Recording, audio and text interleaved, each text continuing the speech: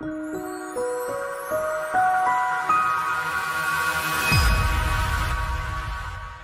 is Marc Young from XLM Solutions. XLM Solutions is a longtime partner of Dassault and SolidWorks. Today we're going to show you our PDM to Delmia Works integration. The PDM to Delmia Works integration has two main components. There's an export from SolidWorks PDM as well as an import into DELMIAWorks. The task add-in handles the export of data either manually or automated through a change state in the workflow. We will be showing you how you can set this up today. DELMIAWorks uses DBload to import the data, and this can be automated through IQ alerts, so it's truly hands-free. Let's show you this in action. We have enabled an add-in within SOLIDWORKS PDM. The add-in is used within a PDM task to control the integration. The setup of the task is mainly controlled by an XML file. The XML file allows you to set up the detailed mappings, configurations, behaviors, and integration options. We can also configure workflows to automatically run the task upon a change state. Let's execute the PDM to Delmia Works task we will switch over to PDM. As you can see, a drone assembly is being managed in PDM. We can view the model. We can also see the bill of materials for the drone assembly. The integration will extract the bill of material information and import it into DELMIAWorks. For demo purposes, we are validating that the transfer folder is empty.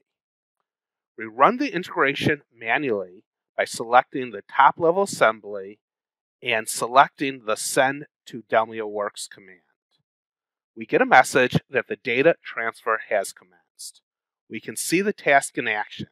If you look at our task list and see that it has already been completed. By looking at the task, you can see some details such as what files were transferred.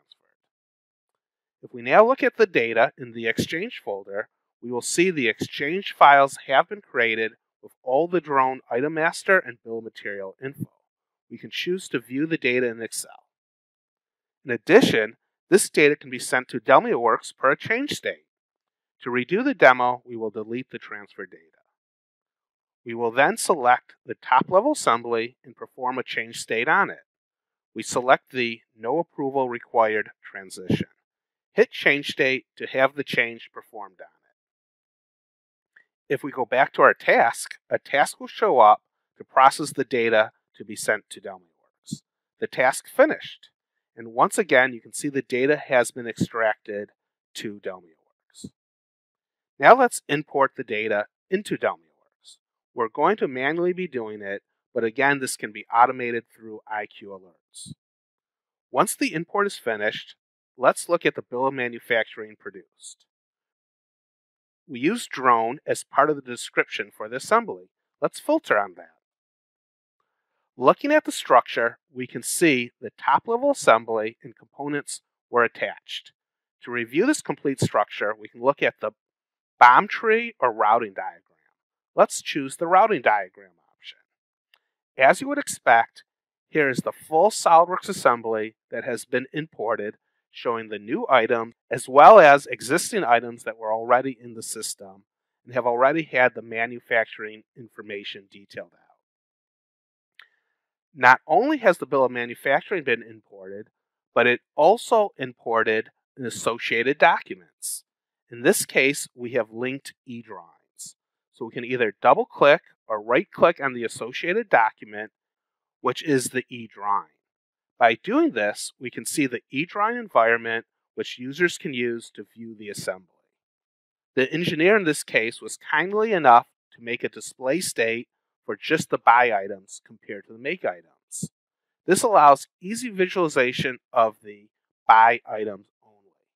We can also explode the assembly as well. To sum up, the SOLIDWORKS PDM to DELMIAWorks integration provides the ability to transfer data to DELMIAWorks, either by an on-demand menu click or automated through a workflow transition. We can transfer file data, whether it be a derived viewable, like a PDF or an e-drawing, from the native CAD, or the native CAD itself. We can configure mappings from PDM variables to Delmia work fields and or control other data transfer aspects like default values and other specific formatting rules. The integration is based on the standard PDM functionality, though it can be tailored to handle unique customer requirements. The DB load component is required from the Delmia work side, and IQ alerts component of Delmia Works can be used to automate the DB load import. For more information, please reach out to me, Marc Young at XLM Solutions, per the contact info below. I would be happy to discuss the integration with you in more detail or any other PDM, PLM, or manufacturing needs.